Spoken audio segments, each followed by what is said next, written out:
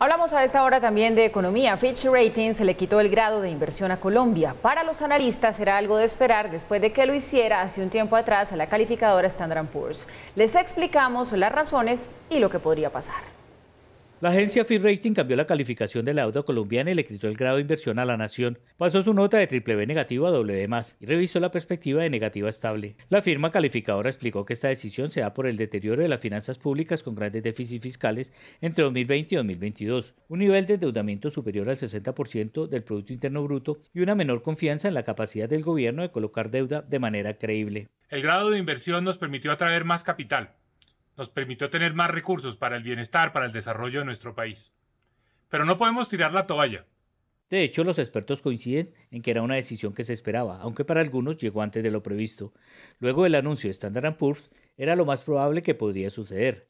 Ahora son dos las calificadoras que le hacen la situación más difícil y costosa al país. La decisión de Fitch implica que tras cerca de 10 años Colombia ha perdido oficialmente el grado de inversión, puesto que ahora son las dos las calificadoras que le han quitado ese estatus a Colombia, Fitch y Standard Poor's. Sin grado de inversión se hace ahora más caro, aunque no improbable, conseguir recursos en el exterior no solo para el gobierno, sino también para los empresarios. Los inversionistas lo pensarán más antes de traer su dinero porque la confianza es menor. Esto en general implicará principalmente unos mayores costos de financiamiento para el país que se reflejarán en mayores tasas de interés, no solo para el gobierno, sino para empresas y personas en el mediano plazo, en la medida en que ahora los inversionistas exigirán una mayor prima por el mayor riesgo asumido. Algunos analistas del mercado dicen que el marco fiscal de mediano plazo, que muestra el camino que transitará Colombia en la próxima década y que recientemente se presentó por parte del Ministerio de Hacienda, no convence a quienes califican al país. Tampoco ayuda en que se haya caído una reforma tributaria estructural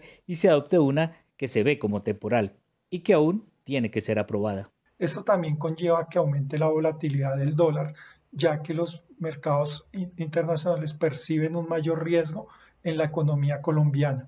Este mayor riesgo se ve reflejado principalmente por las dificultades que tiene el gobierno de tramitar una reforma tributaria que han hecho que el déficit fiscal y la deuda y la deuda pública aumente a niveles no experimentados hasta el momento.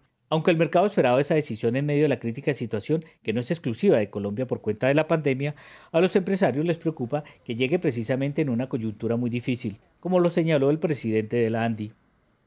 La situación de hoy revive la reflexión sobre la lógica del modelo de entidades que califican el riesgo de una economía.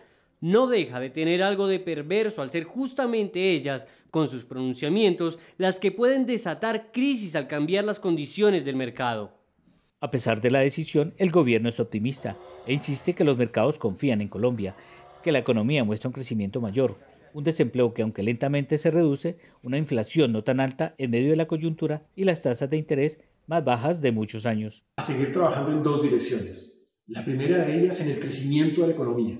Y en segundo lugar, nos obliga a seguir en la línea que hemos venido desarrollando de presentar un consenso a través de un proyecto de inversión social que logra recursos que garanticen la estabilidad social, la estabilidad de las finanzas públicas y el crecimiento de la economía.